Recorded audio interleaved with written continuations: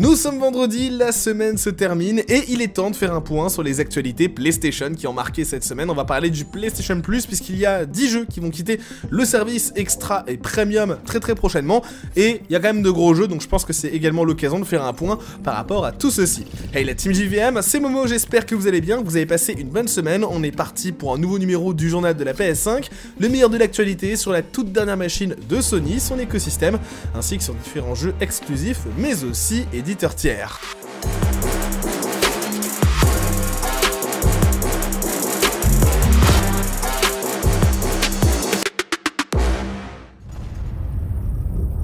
Had you ever considered that all this is your fault?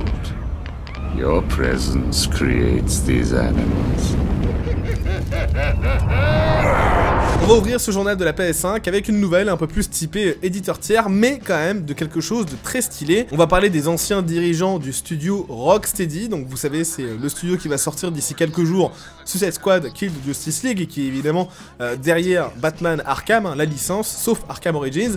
Et en tout cas les cofondateurs de ce studio, Sefton Hill et Jamie Walker, avaient déjà annoncé, souvenez-vous, en 2022 qu'ils quittaient le studio, une nouvelle assez importante d'ailleurs, puisque Sefton ainsi que Jamie avaient vraiment pris part de façon euh, très importante dans la conception des jeux Batman Arkham et ils avaient fondé Rocksteady à la base en 2004 et ils préparaient justement leur départ. Ils avaient déclaré en 2022 maintenant que Suicide Squad est entre de bonnes mains et que l'équipe est plus forte que jamais, il est temps de passer le relais et de commencer une nouvelle aventure ensemble sur les jeux. Et cette nouvelle aventure, il semblerait qu'on en ait appris un peu plus puisque Polygon a remarqué que les vétérans de l'industrie sont répertoriés comme administrateurs d'une société basée à Londres sur le site d'information commerciale Endol, et sur ce site, il figure un studio, une start-up de jeux vidéo, appelée 100 Star Games, qui est basée dans l'est de Londres, et il est précisé que leur philosophie est de créer une petite équipe de seulement 100 vétérans de l'industrie et talents émergents qui s'engagent à créer des expériences de jeu de pointe qui inspirent et captivent les joueurs du monde entier. Globalement, ce qu'il faut retenir, c'est que voilà, on a 100 Star Games, donc c'est le nouveau studio qui est créé par les vétérans et cofondateurs de Rocksteady, Sefton Hill et Jamie Walker. J'ai plutôt hâte de voir euh, ce qu'il en sera, quels seront les projets qui seront partagés. Alors l'objectif, hein, vous l'avez vu, c'est quand même de partir sur un studio qui a à taille quand même assez réduite, à échelle un peu plus humaine, mais j'ai plutôt hâte de voir voilà l'officialisation à 100% du studio, mais également les premiers projets qui vont en découler. N'hésitez pas à me dire en commentaire ce que vous en pensez, et si vous suivrez vous aussi avec attention les créations des anciens fondateurs de Rocksteady Studio. Look into the fire. It will warm you, but left unchecked, it will consume everything in its path. Why does fate seem always to conspire against us? On passe maintenant à la question de la semaine dans le journal de la PS5 et elle est la suivante.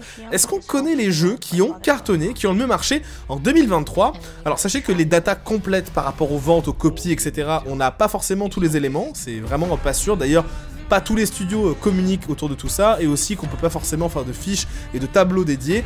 Par contre, on a un tableau qui a été partagé par la société de recherche Circana, par euh, Matt justement euh, Piscatella, et justement ce dernier précise qu'on a vraiment un tableau de 20 jeux qui ont marqué 2023, et on a forcément bah, les ventes en dollars, physiques et numériques, excepté pour les jeux Nintendo, et le tableau est intéressant, parce que voilà, les jeux sont les suivants. Vous avez Hogwarts Legacy qui arrive en tête de vente, et je précise que c'est aux États-Unis. Ensuite, Call of Duty Modern Warfare 3, Madden NFL 24, Marvel Spider-Man 2 qui est quatrième, et honnêtement, je suis quand même assez surpris. Je m'attendais à ce qu'il soit là, mais un peu plus bas peut-être. Zelda Tears of the Kingdom, et là, on ne compte pas les ventes digitales. Diablo 4, Call of Duty MW2, qui était sorti justement en 2022, Mortal Kombat 1, Star Wars Jedi Survivor, IFC 24, Starfield, qui s'est hissé quand même à la dixième place, Super Mario Bros Wonder, hors vente digitale, RE4, MLB The Show 23, Dead Island 2, Final Fantasy 16, Street Fighter 6, Elden Ring, qui n'était pas sorti l'an dernier, hein, mais une année avant, et Mario Kart 8, qui décidément est toujours présent et uniquement sur les ventes physiques, hein, pas vente digite, et on a Minecraft, qui est également de la partie. Donc voilà un peu le tableau, pas surpris par rapport à tous ces éléments, peut-être pour Spider-Man 2, je me disais, je m'attendais à ce qu'il soit peut-être à la 6 place, peut-être la 7 il est 4 aux États-Unis en vente physique et euh, numérique, et en dollars, on parle vraiment de valeur, hein, je le reprécise, pas de copie vendue, ce serait quand même intéressant d'avoir un élément plus complet par rapport à cette liste pour voir les copies vendues, mais forcément, c'est pas toujours le cas puisque les éditeurs ne communiquent pas forcément à 100% autour de tout ça. À la une de l'actualité, dans le journal de la PS5, on va parler du PlayStation Plus, voilà, extra et premium, il s'avère qu'il y a des jeux qui vont quitter le catalogue, on a pu l'apprendre directement sur bah, l'écosystème et notamment sur l'interface du côté euh, du PS Plus. Alors ces jeux vont quitter prochainement le service, il n'y a pas de date précise, mais généralement, ils quittent le service lorsqu'on a une rotation euh, par rapport au jeu, et la prochaine, bah, elle aura lieu le 20 février 2024, donc on suppose que ce sera à ce moment-là que les jeux vont quitter le service, et les jeux sont les suivants, vous avez, bah voilà, en Tacoma, Resident Evil 7, Biohazard, donc qui va quitter le service, et c'était un PlayStation Hit, vous avez Tekken 7, Ace Combat 7, Skies Unknown, vous avez Oninaki, Lost Sphere également, Ayam Setsuna, que je vous conseille d'ailleurs par rapport à ça, Thomas Was Alone, ainsi que You et Lost World Beyond the Page. Donc voilà un peu par rapport aux jeux qui vont quitter euh, le service. Alors, la majorité de ces jeux sont quand même pas super longs. Hein, si jamais vous souhaitez les découvrir avant qu'ils quittent le service du coup euh, prochainement, vous pourrez en terminer euh, quelques-uns. Je vous conseille évidemment Resident Evil 7 Biohazard si vous l'avez pas fait parce que l'ambiance est incroyable et je trouve le jeu vraiment cool. Tekken 7 est cool, Ace Combat 7 est vraiment cool aussi. Donc si jamais vous avez envie d'y jouer, eh ben, n'hésitez pas. Ils sont pas très longs et si jamais vous avez envie voilà, de prioriser un jeu par rapport à tout ça, eh ben, dites-moi lequel d'entre eux dans les commentaires. Je pense que ce serait intéressant d'avoir vos différents points de vue.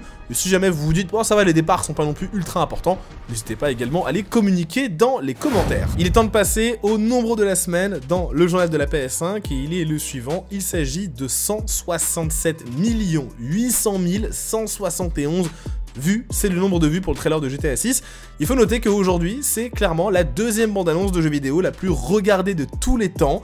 Donc à la première place, on a Subway Surfer. Bah ouais, c'est clairement euh, le truc qu'il faut euh, préciser parce que Subway Surfer, c'est la bande-annonce de jeu vidéo la plus regardée de tous les temps avec 361 millions de vues depuis sa publication en décembre 2012, suivi forcément de GTA 6 avec ses 168 millions de vues.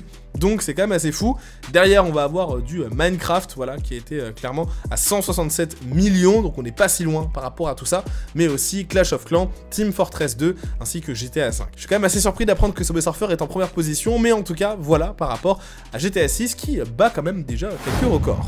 First off, I gotta say, I am super excited to welcome all my pals back to the annual Blackwood Winter Getaway. Pour terminer ce journal de la PS5, petit point un peu insolite, alors actu ciné, on va dire. Il faut savoir que le jeu vidéo Until Dawn, sorti originellement sur PlayStation 4, va bel et bien avoir une adaptation cinématographique.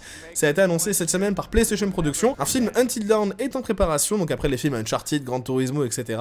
Ce sera adapté donc et mis en scène par David F. Sandberg, donc le réalisateur de Shazam et de Annabelle 2. Et il faut noter également que le scénario, eh ben, on va avoir Gary Doberman qui a travaillé au scénario de La Nonne et de Annabelle. Donc c'est un projet qui est encore très secret, on n'a pas forcément d'informations précises. Il est juste dit qu'il sera R-rated, donc interdit au moins de 17 ans euh, non accompagné, et que ce sera une lettre d'amour terrifiante au genre de l'horreur. Et donc on a Azad Kizilbash, donc le patron de PlayStation Productions, qui a déclaré, je cite, au Hollywood Reporter, nous sommes ravis de travailler sur notre premier film avec Screen Gems. Until Dawn est l'un des jeux les plus euh, appréciés des fans PlayStation PlayStation. Nous avons hâte de le présenter sur grand écran. Dites-moi un peu en commentaire ce que vous en pensez par rapport à tout ceci. Je vous rappelle que le casting du jeu était quand même assez cinématographique à la base. On avait Aiden Panettiere qui avait joué dans Scream, on avait Rami Malek forcément de Bohemian Rhapsody, on a Peter Stormare qui a joué dans Fargo, ou encore Jordan Fisher, à tous les garçons que j'ai aimés, et ça avait reçu quand même pas mal de bonnes critiques, c'était très cinématographique. Maintenant, à voir si le film sera de bonne qualité, et s'il pourra justement s'ouvrir à un public un peu différent, même si on reste quand même sur du slasher assez classique, hein, des amis à la montagne qui sont tués les uns après les autres. Donc j'ai plutôt hâte, je suis quand même très curieux de voir comment est-ce que tout ça sera adapté. C'est donc ici que se termine ce journal de la PS5. Merci infiniment de l'avoir suivi. N'hésitez pas également à vous abonner à la chaîne et activer la cloche pour ne louper aucune des prochaines vidéos, aucun des prochains journaux. On vous retrouve ce week-end pour de nouveaux contenus sur la chaîne, ne vous inquiétez pas. Et on vous dit à très vite pour de nouvelles aventures. C'était Mo pour JVM. La bise, jouez bien, prenez soin de vous et euh, jouez bien, joueur PlayStation. Encore une fois, ciao